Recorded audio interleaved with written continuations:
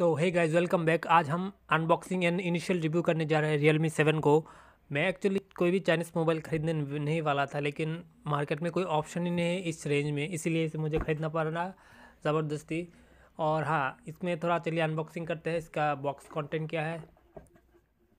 तो चलिए बॉक्स को खोलते हैं। बॉक्स को खोलते ही हमें मिल जाता है रियल का जो डॉक्यूमेंटेशन है, और उसके अंदर एक केस मिल जाता है जो कि बेसिक आ, है आप ज़्यादा देर इसे यूज़ नहीं कर सकते।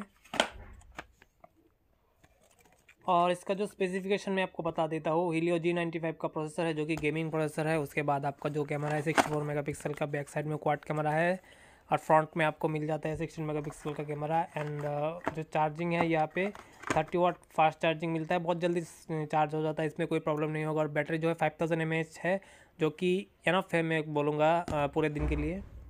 और इसका डिस्प्ले फुल एचडी डिस्प्ले है, जो कि आपको नाइन्टी आर्स का रिफ्रेश रेट भी मिल जाता है। और ये हमारा मेन डिवाइस पैकेट में अच्छी तरीके से रखा हुआ है, इसे देखिए। यह देखने में देखने में वो सुंदर है, लेकिन बहुत ही हल्का लग रहा है एंड वीक लग रहा है। जैसे बोलते हैं ना सॉलिड फीलिंग नहीं आता है डिवाइस को, आप जब भी पकड़ेंगे नीचे, आपको एक स्पीकर ग्रिल और three point five M jack मिल जाता है, देखिए।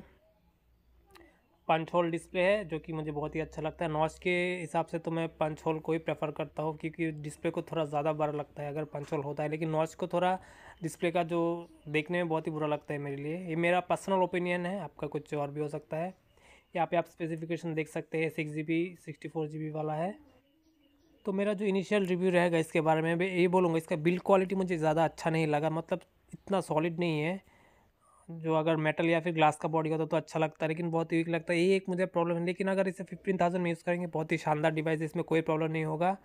आप डे टू डे यूज़ से मीडियम से हैवी यूज़ तक भी कर सकते हैं, कोई प्रॉब्लम नहीं होगा। कैमरा भी ओके ओके है, इतना ज़्यादा अच्छा मतलब डिटेलिंग नहीं है, लेकिन हाँ अच्छा खासा इमेजेस से क्लिक कर लेता है पिक्चर वीडियोस भी आप four K video thirty P तक रिकॉर्ड कर सकते हैं। तो दोस्तों, ये था आज का वीडियो। कोई भी क्वेरी है तो कमेंट ज़रूर कीजिएगा और चैनल को सब्सक्राइब करना ना भूले। मिलते हैं नेक्स्ट वीडियो पे।